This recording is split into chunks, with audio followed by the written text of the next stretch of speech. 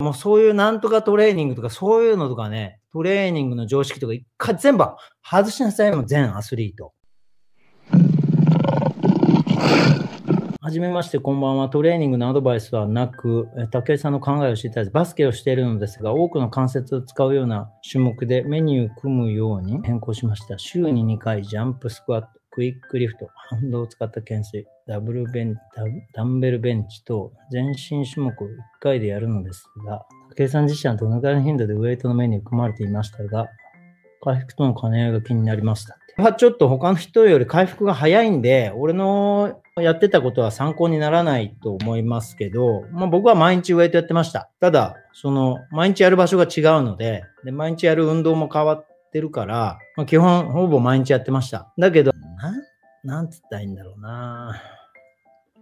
まあ、ウェイトがあります。で、スキルの練習があります。で、まあ、走ったりなんだりっていう、そういう実際に体を動かす練習がありますっていうふうに、こう、別物じゃないんだよね。要はメニューを組むっていうこと自体がもう結構ナンセンスで、うん、ジャンプスクワットやクリックリフトやらダンベルベンチみたいなものを反動を使った懸垂とか、なんか一個一個がその運動をやろうとしてるじゃないですか。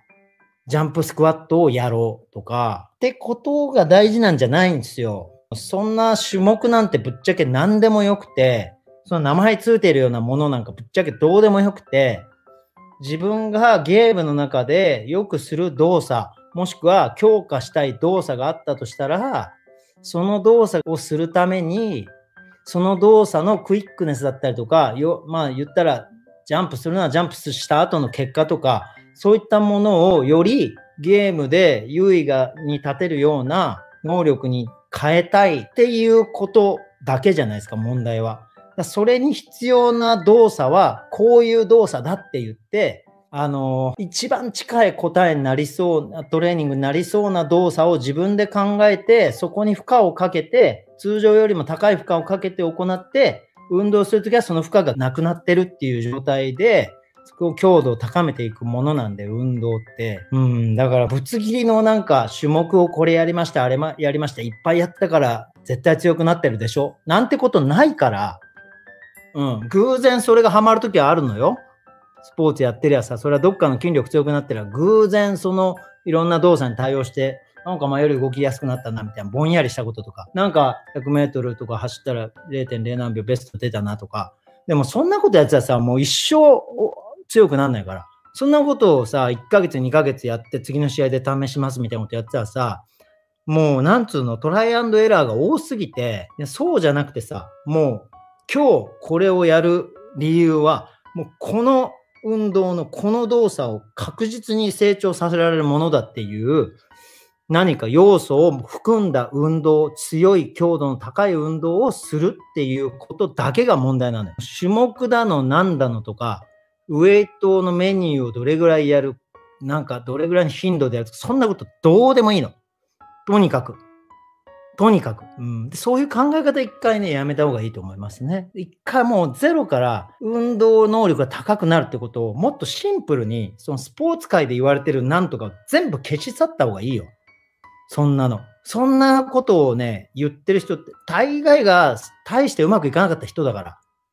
で、大概うまくいかなかった人たちが考えたようなメソッドを、そこでうまくいってるトップアスリート、頭の賢い運動に特化してすごい能力に秀でたトップアスリートが参考にしてやってみたら、自分の能力がよりちょっと良くなりましたってことを世の中で言っちゃってるから、だからそのトレーニングが効果あるんだみたいな思ってるけど、そうじゃない。うまくいく人たちは、うまくいく方法論が頭の中で構築できてて、それを鍛えて体を使って、自分の体で何か投げるだ、打つだの、蹴るだのとかって表現したときに、それを発揮するのが上手い人なのよ。だからそれは決して体幹トレーニングしたからその人が強くなったわけじゃなくて、体幹トレーニングっていうものを対して運動ではうまくいかなかった奴らが言い出して、これ絶対じゃないですよ。うまくいった人も言ってる可能性もありますけど、うまくそんなに結果出なかった人たちがこういうものが必要だと言い出したりして、でそれをトップアスリートたちがその人たちに言われてやって、結果良くなった。だから体幹トレーニングはいいって言われてるような順序だと俺は思ってんですよ。そうじゃない。決して体幹トレーニングやったからその人たち強くなったわけじゃない。その人たちは体、その競技で扱うのが抜群にうまくて、で、もともと弱かった体を、そのなんとかトレーニングって呼ばれてる何かを取り入れたことによって、俺前より強くなった。当たり前のことをやっただけなんだけど。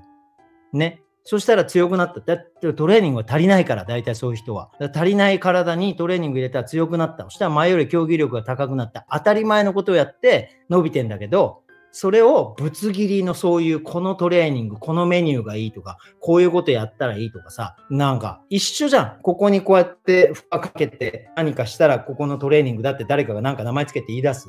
じゃあこう、体をねじったりして、こう体のこの辺についてる筋肉に刺激が出て、それを体幹だって言い出す。どれも一緒じゃん。筋肉をより強く使ってより刺激を与えて、運動に対しての負荷をかけて、その運動をするんだよっていうことを体になじませて、脳が覚えて、で、痛めて、で、次にその運動しても、もう大丈夫なように直してっていう繰り返しをしてるだけで、そういうことなのよ。だからもうそういうなんとかトレーニングとかそういうのとかね、トレーニングの常識とか一回全部外しなさいも全アスリート。そんなことやってっから10年、20年かかるんだから。そんなとこからちょっと離れりゃもう、俺は本当3年ぐらいでいいと思うけどね、スポーツなんか。まあ、5年あれば、どのスポーツでも日本トップクラスになれるよ。